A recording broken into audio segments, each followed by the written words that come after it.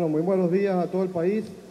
Queremos saludar desde el Círculo Militar del Salón Venezuela a todos los representantes del sector transporte que se encuentran aquí reunidos, debatiendo, en un debate de saberes en esta área importante del sector transporte. Traemos un saludo afectuoso del presidente de la República Bolivariana de Venezuela, Nicolás Maduro Moros me acompaña el ministro Hipólito Abreu, ministro del Poder Popular para el Transporte, así como también representantes de los gremios del sector transporte de todo el país.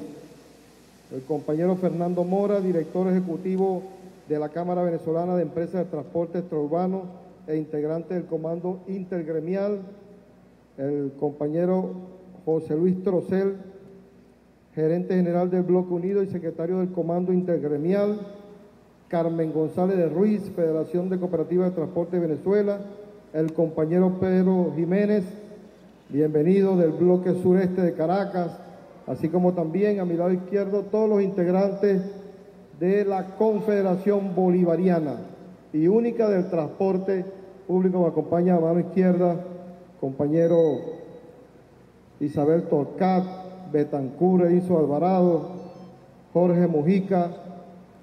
Traemos un saludo a la vicepresidenta ejecutiva de la República, la doctora Delcy Rodríguez, y que siguiendo las instrucciones del presidente de la República, que tal tanto esta importante reunión, hoy hemos instalado las mesas estratégicas de trabajo de la misión transporte para lograr en primer lugar un gran debate en cinco áreas importantes. En primer lugar, lo que tiene que ver con el bienestar social del transportista, todo lo que tiene que ver con el sistema de pensiones, la bancarización, todo lo que tiene que ver con el bienestar social, la incorporación de las misiones y las grandes misiones al sector transporte, que es muy importante establecerlo. Así como también se ha ordenado en cada mesa integrantes de los grupos intergremiales que nos representan a todo el sector transporte en el país, los organismos y jefes de las instituciones del Estado que tienen inherencia directa en esta mesa de bienestar social y que se está haciendo un debate desde las 8 de la mañana y al final tendremos unas conclusiones para estructurar de manera organizada la misión transporte y darle un nivel superior. También está la mesa del pasaje estudiantil y tarifas. Esta mesa se subdivide en dos grupos. Un grupo anda está discutiendo todo el tema del pasaje estudiantil con los ministros del área, así como también con el grupo de estudiantes y de las diferentes federaciones y gremios del sector transporte y el tema de las tarifas. Discutir también las tarifas justas que deben tener los transportistas y que se debe terminar estas mesas de trabajo eh, de manera permanente para que la discusión de la tarifa del transporte sea de manera ordenada y que los que integran esa mesa representen a todo el sector transporte para llegar a conclusiones importantes. También está la mesa de reemplazo de partes, piezas, insumos, reemplazo de flota, que la dirige el compañero Hipólito Abreu y que también es como crear un sistema de compensación para que todos los transportistas tengan acceso a cada uno de los insumos, partes y piezas y también de aquí se desprenderán un conjunto de reuniones con los fabricantes de baterías, con los fabricantes de caucho, con PDVSA que también está asistiendo a las mesas para el tema de los lubricantes y seguir haciéndole seguimiento a todas las partes y piezas y a los sistemas de transporte, el sistema de Yutón o el sistema de Encaba o el sistema de Ibeco, para hacer alianzas estratégicas y reuniones permanentes con todos los gremios que tienen que ver con la sustitución de partes y piezas, insumos, repuestos y flota de este importante sector. También hemos instalado la mesa de seguridad ciudadana, que la presido yo con un grupo de instituciones del Estado y que permite atender todos los temas de seguridad para el sector transporte, incorporación de GPS, enlace con el BEN 911, con todos los organismos de seguridad, crear una oficina especial en el 6CPC para atender las denuncias de los transportistas, en los comandos de la Policía Nacional Bolivariana y en el tema de tránsito, atender también todas las necesidades de los transportistas. Y por último, la mesa de formación, educación y la escuela del transporte. Esto permite establecer un sistema de capacitación, de formación y también de investigación en el área del transporte, la Universidad del Transportista, la Escuela Nacional del Transportista, y que cada una de estas mesas tengan representación regional. En cada estado se creará el órgano estadal de la misión transporte que va a pasar a un nivel superior eh, ordenado por el presidente de la República y que se hará eh, a conocer a todo el sistema de transporte del país. Nosotros, estas mesas de debate, desde hoy las que está integrando de los gremios del sector transporte, quedan instaladas de manera permanente. Es decir, todas las personas que se encuentran acá presentes representan a todo el sector del transporte a nivel nacional. Y al mismo tiempo vamos a ir nombrando las mesas en cada estado que representen cada uno de estos vértices de la misión transporte, primero para atender a los transportistas de manera integral, dar respuesta a la situación de transporte, mantener un canal de coordinación y de comunicación en tiempo real y atender todas las necesidades de este importante sector.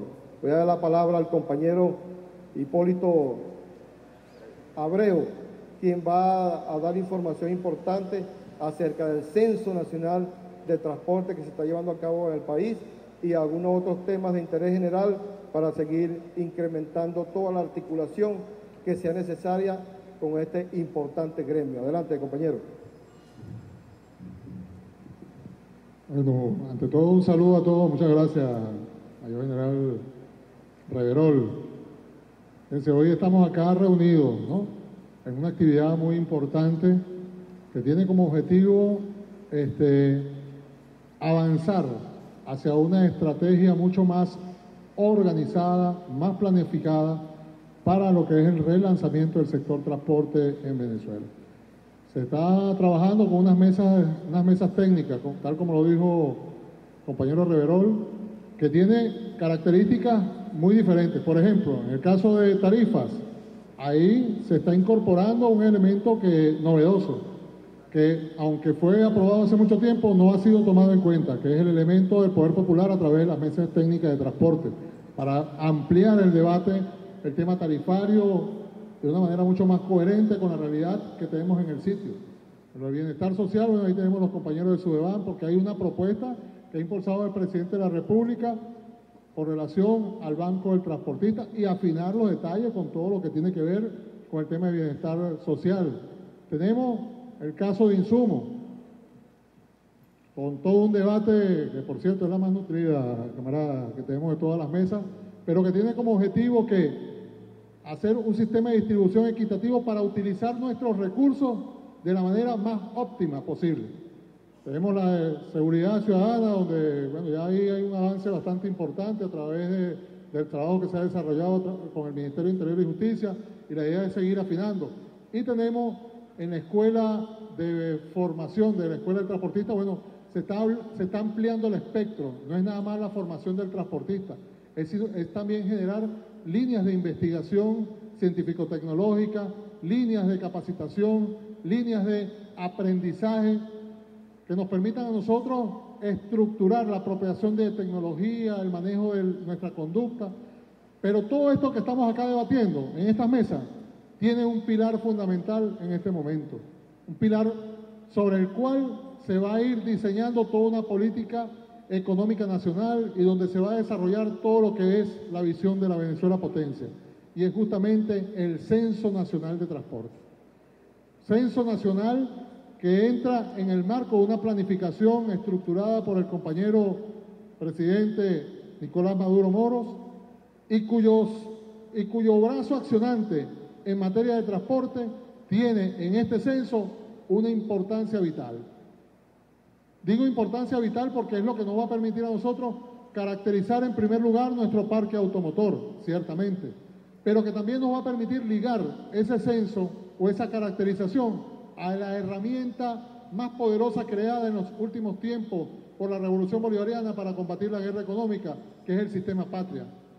Sistema que ha garantizado o ha evitado que los sectores de la contrarrevolución, las mafias imperiales, nuestros enemigos más poderosos en el mundo, vulneren de manera más directa al pueblo venezolano. Y que hoy ve en el sector transporte un mecanismo y una herramienta para defender tanto a los usuarios como a nuestros transportistas, que también son pueblos. Es importante allí el llamado. Tenemos un censo que ya va avanzando notablemente. Cada día se suma números y números de registros que se están dando. Y seguirán avanzando esos registros hasta llegar al último, al último vehículo que tengamos a nivel nacional. Pero no es nada más para sumar o tener un número de, de unidades allí registradas, es cómo ahora la vamos a atender, cómo nosotros vamos a planificar la utilización de recursos, cómo nosotros vamos a poder saber cuánto es el combustible realmente que se necesita para poder atender nuestro parque automotor, cuántos lubricantes, y ahí generar un dique de contención para que no se siga yendo en, esos, ese contrabando de tracción que tanto daño nos ha hecho y del cual todos los que estamos acá presentes somos víctimas también. Finalmente, quiero agradecer la presencia de todos los factores que hacen vida en el sector transporte. Quiero agradecer la disposición que se ha visto en las mesas en el debate. Es justamente en el debate que nosotros vamos a poder resolver nuestras diferencias. Es justamente en, en el entendimiento de que estamos en una misma patria, en un mismo territorio, que nosotros vamos a poder avanzar.